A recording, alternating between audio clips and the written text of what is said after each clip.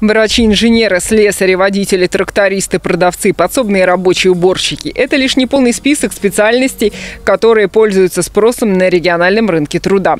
В соответствии с майским указом главы государства Владимира Путина в Орловской области организуют обучение и дополнительное профессиональное образование почти для 300 орловчан предпенсионного возраста. О результатах исполнения госпрограммы содействия занятости населения в 2018 году и перспективах на 2019 шла речь на заседании правительства.